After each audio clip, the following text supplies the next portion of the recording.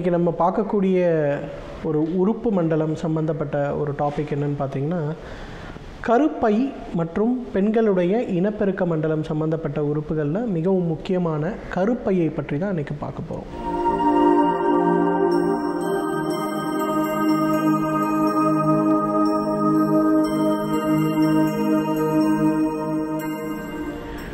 இந்த கருப்பை அப்படிங்கிறது பார்த்திங்கன்னா பூப்படையும் போது மிகச் சிறியதாக இருக்கக்கூடிய ஒரு உறுப்பு அது.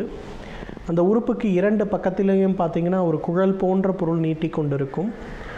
அந்த குழல் போன்ற பொருட்களுடைய முடிவில் பார்த்திங்கன்னா நம்ம ரொம்ப அழகாக கருமுட்டை பை இருப்பதை நம்ம பார்க்கலாம். ஓவரீஸ்ன்னு சொல்லுவோம். வலது பக்கம் ஒன்றும் இடது பக்கம் ஒன்றும் இருக்கக்கூடிய ஒரு பம்பரம் போல தோற்றமளிக்கக்கூடிய ஒரு உறுப்பை கொண்டிருப்பது தான் இந்த கருப்பை.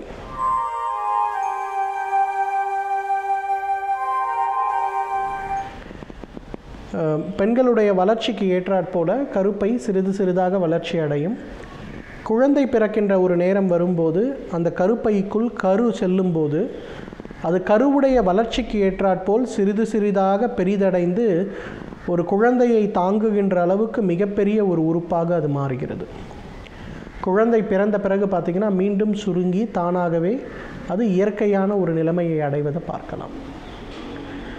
கருப்பை வந்து ஒரு மிகப்பெரிய இயற்கையோடைய ஒரு அதிசயம்னே நம்ம சொல்லணும். ஏன்னா அது எப்படி விரிவடைகிறது எப்படி சுருங்குகிறது இதெல்லாம் பார்க்கும்போதே பிரமிப்பாக இருக்கிறது. இந்த கருப்பை அப்படின்னு சொல்லும்போது அதோடைய முக்கியமான ஒரு ஃபங்க்ஷன் ரீப்ரொடக்ஷன் தான். குழந்தை உருவாக்குவது மட்டும்தான் அதோடைய முக்கியமான ஒரு வேலை. அந்த குழந்தை உருவாகாத மற்ற நேரங்களில் கருப்பைக்கு உள்ளே வளருகின்ற திசுக்கள் மாத மாதம் அழிக்கப்பட்டு வெளியேற்றப்படுவது தான் மாத விளக்கு அப்படின்னு நம்ம சொல்லக்கூடிய ஒரு இயற்கை நிகழ்வு. பீரியட்ஸ் மென்ஸ்ட்ரல் சைக்கிள் நம்ம சொல்லக்கூடியது.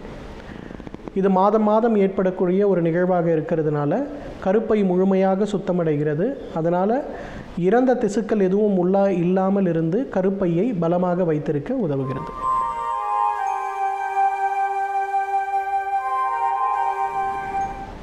கருப்பையில் ஏற்படக்கூடிய பிரச்சனைகள் என்னென்ன அப்படின்னு பார்த்தோம்னா முதலாவது கருப்பையில் மாதவிலக்கு சம்பந்தப்பட்ட முதல் தொந்தரவுங்கிறது மாதவிலக்கு ஏற்படாமல் போகின்ற ஒரு தொந்தரவு.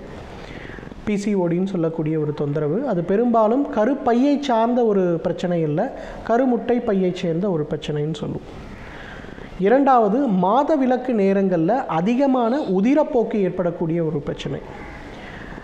இது சில நேரங்களில் அதிகமான மன அழுத்தம் கொண்டிருந்தாலோ அல்லது உடலில் இருக்கக்கூடிய இரத்த சிவப்பணுக்களுடைய எண்ணிக்கை குறைந்திருந்தாலோ அல்லது மெனோபாஸ் காலங்களிலேயோ அல்லது அதற்குள்ளே கட்டிகள் வளர்ந்தாலோ கருப்பை கட்டிகள்னு சொல்லக்கூடிய யூட்ரன் ஃபைப்ராய்ட்ஸ் வந்தாலோ இந்த உதிரப்போக்கு ஏற்படுவது அப்படிங்கிறத நம்ம பார்க்குறோம். மூன்றாவது மாதவிலக்கு காலங்களில் மட்டும் அதிகப்படியாக ஏற்படுகின்ற உதிரப்போக்கு. அந்த ஐந்து நாட்கள் இருக்கக்கூடிய அந்த உதிரப்போக்கு மிக கடுமையாக இருக்கும். இது மூன்றாவது பிரச்சனை. நான்காவது பிரச்சனை விரிவடைந்த கருப்பை அப்படின்னு சொல்லுவோம். கருப்பை வந்து வழக்கத்தை விட வீக்கமாகும். அது வீக்கமாகும் போது அது அதிகமான ஒரு ப்ரெஷரை வந்து யூரினரி பிளாடருக்கு கொடுக்கும். அப்போ அந்த பெண்களுக்கு அடிக்கடி சிறுநீர் கழிக்க வேண்டிய தொந்தரவு ஏற்படலாம். அல்லது தும்முனாலோ இருமனாலோ உறக்க சிரித்தால் கூட சிறுநீர் கசிய ஆரம்பிக்கும். இது நான்காவது பிரச்சனை. ஐந்தாவது பிரச்சனை வெள்ளைப்படுதல் சம்பந்தப்பட்ட பிரச்சனை. பெரும்பாலும் பார்த்திங்கன்னா இது கருப்பை சம்பந்தப்பட்ட பிரச்சனையாக இருக்காது. வெளியில் இருக்கக்கூடிய கருக்குழல் கருவாய்க்குழல் சம்பந்தப்பட்ட பிரச்சனையாக இருக்கும். வெஜைனல் ப்ராப்ளமாக இருக்கும். அதே போல் கருவாய் புண் அல்லது வந்து சர்விக்கல் கேன்சர் அப்படிங்கிறது பொதுவாக பெண்களுக்கு ஏற்படக்கூடிய ஒரு பிரச்சனையாக இருக்கிறது. இந்தியாவில் பெண்களுக்கு நாற்பது வயதுக்கு மேலே ஏற்படக்கூடிய பிரச்சனைகளில் மிகவும் முக்கியமான பிரச்சனை இந்த சர்விக்கல் கேன்சர் தான். அதனால தான் இன்றைக்கு கவர்மெண்ட் ஹாஸ்பிட்டல்ஸில் கூட பார்த்தீங்கன்னா சர்விக்கல் கேன்சர் ஸ்க்ரீனிங் ப்ரோக்ராம் அப்படிங்கிறத கொண்டு வந்திருக்காங்க. வருஷத்துக்கு ஒரு முறை நாற்பது வயதுக்கு மேற்பட்ட பெண்கள் குறிப்பாக க திருமணம் செய்யாத பெண்கள் குழந்தை இல்லாத பெண்கள் இந்த பரிசோதனையை வருடத்திற்கு ஒரு முறையேனும் செய்து கொள்ள வேண்டும் அப்படின்னு சொல்லி அரசாங்கமே அறிவுறுத்துகிறாங்க அந்தளவுக்கு இந்த சர்விக்கல் கேன்சரோட இன்சிடென்ஸ் இப்போ ரொம்ப அதிகமாக இருக்குது இந்த கருப்பையுடைய முக்கியமான மற்றொரு குணம் என்னன்னு பார்த்தீங்கன்னா உடலில் இருக்கக்கூடிய நிறைய ஹார்மோன்களை கட்டுப்படுத்தக்கூடிய ஒரு உறுப்பாக இருக்கிறது. இந்த கரு பை உள்ளே இருக்கக்கூடிய அந்த ஃபங்க்ஷன்ஸ்னால் என்ன ஆகுதுன்னா உடம்பில் பெண்களுக்கு தேவையான ஈஸ்ட்ரோஜன் ப்ரொஜெஸ்ட்ரான் சொல்லக்கூடிய ஹார்மோன்களுடைய அளவு சீராக இருக்கிறது. சில நேரங்கள்லாம் நம்ம என்ன பண்ணுறோம்னா கருப்பைக்குள்ளே கட்டி இருக்குது அப்படிங்கிறதுனால அதை கட் பண்ணி வெளியில் எடுத்துடுறோம். அந்த மாதிரி நேரங்கள்லாம் பார்த்திங்கன்னா ஈஸ்ட்ரோஜன் ப்ரொஜஸ்டான் மாத்திரைகளை கொடுத்தால் கூட அதோட டெஃபினி டெஃபிஷியன்சி ஏற்பட்டு எலும்புகள் சம்பந்தப்பட்ட நரம்பு மண்டலம் சம்பந்தப்பட்ட மூளை சம்பந்தப்பட்ட தேய்வு நோய்கள் நிறைய ஏற்படுறதை நம்ம பார்க்குறோம்.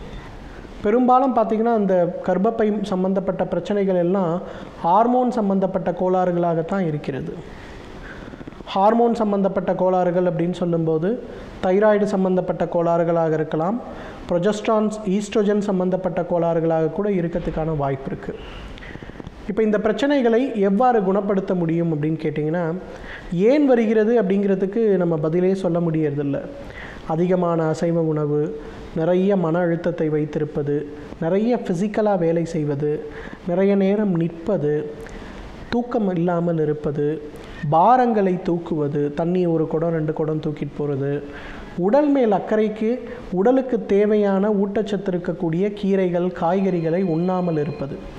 இதெல்லாம் தான் இன்றைக்கு பார்த்திங்கன்னா இந்த பிரச்சனையை உண்டாக்குவதற்கான முக்கியமான ஒரு காரணங்களாக இருக்கிறது. இதை குறைக்கக்கூடிய வழிகளை நம்ம செஞ்சோன்னாலே பெரும்பாலும் இந்த பிரச்சனைகள்லாம் அட்ரஸ் ஆகிறத நம்ம பார்க்கலாம்.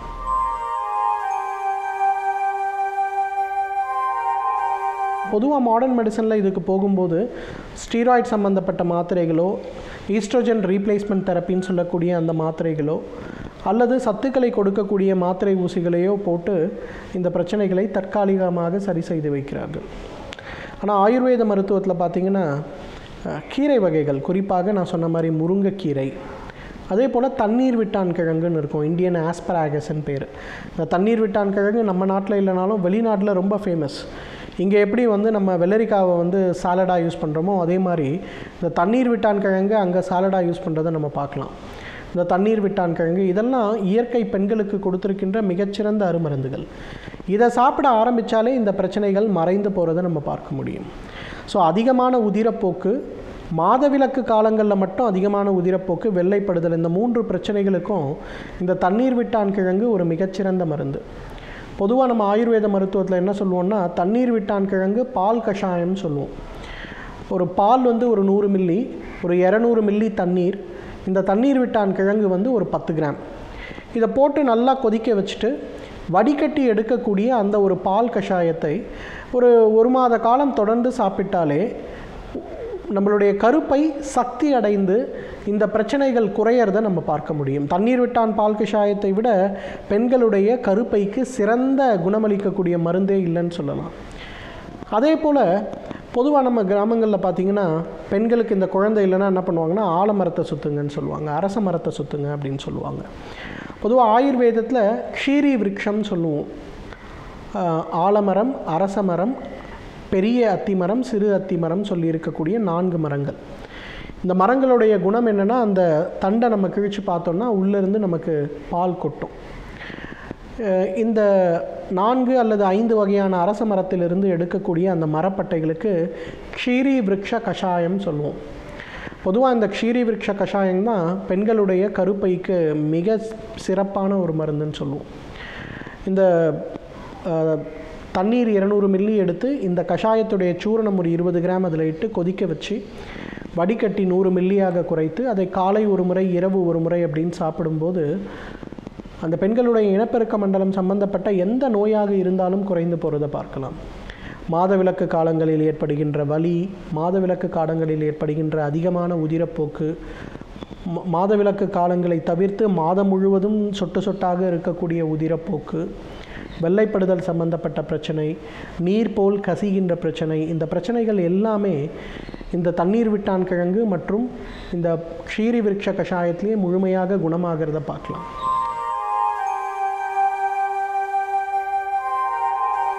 இன்றைக்கு பார்த்தீங்கன்னா நாற்பத்தி ரெண்டு வயது மாதவிலக்கு கோளாறு ஏற்படுது அதிக உதிரப்போக்கு ஏற்படுது. உடனே போய் ஸ்கேன் பண்ணி பார்க்குறோம். என்ன சொல்கிறாங்கன்னா உங்களுக்கு கருப்பையில் கட்டி இருக்குது கருப்பையை எடுத்துருங்க அப்படின்னுறாங்க. அதனால் ஏற்படுகின்ற பக்க விளைவுகளை பற்றி யாருமே சொல்கிறதில்ல பேஷண்ட்ஸும் உடனே போய் கருப்பையை எடுத்துடுறாங்க. அதன் பிறகு பார்த்திங்கன்னா ரெண்டு வருடத்தில் பத்து கிலோ அளவுக்கு உடல் எடை அதிகமாகிறது தலைமுடி கொட்டுறது மனதில் அதிகமான அழுத்தம் மற்றும் வலிகள் ஏற்படுவது. அதைவிட முக்கியமானது பார்த்திங்கன்னா எலும்புகள் ரொம்ப பலவீனமடைந்து ஆஸ்டியோபோரோசிஸ் சம்பந்தப்பட்ட பிரச்சனைகள் ஏற்படுவது. இந்த மாதிரி பிரச்சனைகளை வந்து குணமாக்குவதற்கு ஆயுர்வேதத்தில் நிறைய மருந்து இருக்குது உதாரணத்துக்கு சொல்லணுன்னா கல்யாணகக்ஷாரம் அப்படின்னு ஒரு மருந்து இருக்குது இந்த மருந்துடைய மிக முக்கியமான குணம் கட்டிகளை கரைப்பது.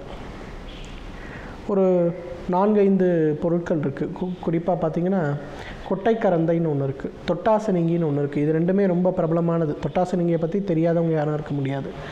தொட்டாசனிங்கிலேருந்து எடுக்கக்கூடிய அந்த வேரை கஷாயம் செய்து நம்ம சாப்பிட்டோம்னாலே கருப்பையில் இருக்கக்கூடிய கட்டிகள் ஃபைப்ராய்டு கரைந்து போகிறத நம்ம பார்க்க முடியும். தண்ணீர் விட்டான் கிழங்கிலிருந்து எடுக்கக்கூடிய கஷாயத்தை சாப்பிட்டாலே அந்த கட்டிகள் மறைந்து போகிறத நம்ம பார்க்க முடியும். அதனால் கருப்பை சம்பந்தப்பட்ட எந்த பிரச்சனையாக இருந்தாலும் ஹார்மோன் ரீப்ளேஸ்மெண்ட் தெரப்பியோ அல்லது அதை கட்டுப்படுத்துவதற்கு நேரடியாக ஊசி மருந்துகளோ ஸ்டீராய்டு இன்ஜெக்ஷன்ஸோ எடுத்துக்கொள்ளாமல் கருப்பை கட்டிகளாக இருந்தாலும் கூட அதற்குன்னு இயற்கை முறையில் இருக்கக்கூடிய மருந்துகளை செலக்ட் பண்ணி அந்த மருந்துகளை சரியான முறைப்படி உபயோகப்படுத்தினோம்னா கருப்பை சம்பந்தப்பட்ட எந்த பிரச்சனையாக இருந்தாலும் கருப்பையில் இருக்கக்கூடிய கட்டிகளுடைய அளவு பெரியதாக இருந்தாலும் கருப்பை வீக்கமடையக்கூடிய கருப்பையாக இருந்தாலும் கூட அவை அனைத்தும் மறைந்து குணமாவதை நாம் பார்க்க முடியும்.